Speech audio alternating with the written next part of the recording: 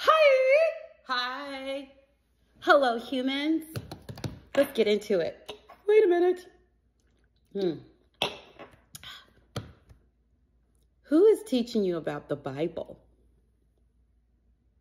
The reason why I ask this question is because I've been listening and hearing a lot of crazy Christians who I had to say it. I've been listening to crazy Christians for a while now, and I've been trying to figure out who is teaching you about the Bible. I've kept my mouth shut because what I don't want is to offend anyone. I've been trying not to offend anyone because I'm a Christian and true believer too. But I've been hearing people who believe in the Bible are saying some crazy stuff. And then something happened recently to me and I got this light bulb. I'm going to tell you what happened. My son had a test in school. He's in high school.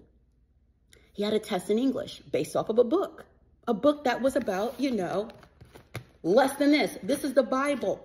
This is a hard read. His book was smaller. He passed the test but didn't read the book. I asked him, How did you do that, sir? That sounds genius. He says, Simple. I went to school, took the notes down from what my teacher said would be on the test, studied the, the notes, passed the test, which means I am now proficient in English. I'm like, Oh, dear God, read the D book. Are you Christians doing that? Same thing, being smarter Christians? You're not reading this book, and what you're doing is going into church and hoping your pastor or whoever you're calling that's looking funny, your teacher. You're going in and not reading this book, taking the notes from your teacher, and then passing life as a Christian because you got it right. What if your teacher has biases? What if your teacher doesn't know a D thing about this book, but you're hoping and praying that they do? The reason why I say that is because this is a very hard read. I get it. That's why a lot of people don't read this book. My father insisted I read it front to back and did just that. And do you know, I read the King James Version, which is like Shakespeare. Thou this, thou winneth. What, what do you want me to do, God? I'm so confused. I remember crying to my mother, what do I supposed to do? This is so difficult.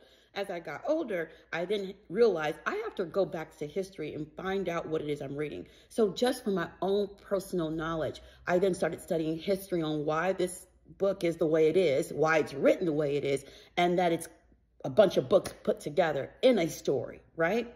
My mother wanted to take it further. She goes, nah, not only is this book historically different than our reality now, but it's translated from different languages. I want to know the original transcript. So the best she could do was find a rabbi and understand the Torah. The only way she can understand the Torah, she had to learn Hebrew. Just so she can understand this book. So I get it. That's a lot of work to do, right?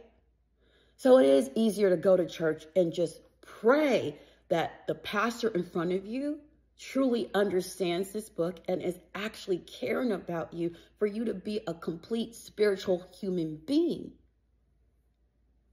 I trust the author. I do.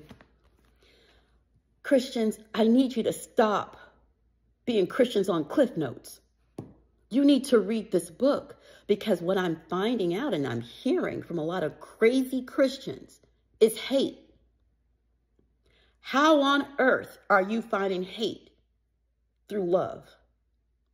So if I am a pastor with a bias, a bias means I am going to look for what I want to find. Let's say I'm a pastor who hates yellow people. I am going to tell you a sermon today about how I'm going to find that in this book. I'm going to look for any interpretation I can. Oh, bingo, found it. I'm going to teach you on Sunday. In the word, it says to hate yellow people. And there you go. Trust in me. Like, oh, shoot, Pastor said hate yellow people.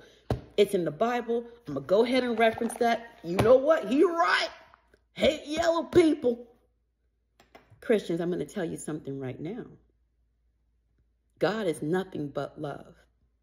And God is you. If you truly believe that God made you and I in his own image, then you can't possibly hate anyone and love God. If you hate me or yellow people, you're hating on God. Don't worry. I have a really great exercise for you. One, read the D Bible, please. Read it yourself. Read the history on it. Learn Hebrew if you can, because this is translated from another language. And as we humans know, I hope you know this, things get lost in translation. Don't be a lazy Christian, is all I'm saying. Don't be a lazy Christian and then find courage in hate. You're being lazy with the with the word, but then find courage to hate. Hmm. Do you know there's a practice that I do as soon as I start being fleshy? What I mean by fleshy, I mean not of the spirit. The spirit is nothing but love. It's light. It's nothing but love. Oh my God. And it's an amazing feeling when you just tap into your own spirit and that of God, because God is with you. When you start becoming fleshy, right? Hate, lies, sneaking things you're not supposed to do, that's fleshy, right? So anytime I start being fleshy and I want to start having a bias, let's say I'm going to hate yellow people and I'm going to find something to hate about them, right? Do you know my own psyche? Because I love God so much. As soon as I start having a bias, or a stereotype about another human being, do you know I imagine my God looking just like them? and it immediately takes hate out. I'll give you an example. If you hate Chinese people because someone told you you should hate Chinese people, right? Imagine your God Chinese. Whatever imagine imagination you have or image of your God, imagine your God Chinese. I guarantee you, you'll stop hating Chinese people. it is a wonderful trick I did during meditation when I was praying about a person I dislike. And I am very uncomfortable disliking people. It makes me very uncomfortable to dislike another human being. And I was starting to get real biased on their culture. Like maybe because he's that way. That's why he said that. Do you know immediately? I said, okay, Imagine your image of God looking like that person you hate. That's your God. So you hate black people? Imagine your God black. you will stop hating black people. And that is if you truly, truly know who God is, which is a powerful light that a lot of crazy Christians are barking hate. God is love. God is you. What are you doing, crazy Christians?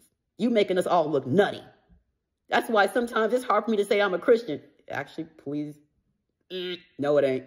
I'm a Christian. What are y'all? I'm a Christian. What are y'all? Y'all making me look nuts. So, all jokiness aside, I want everybody to feel good like I do. And if you're feeling good, wonderful. Welcome to feeling great.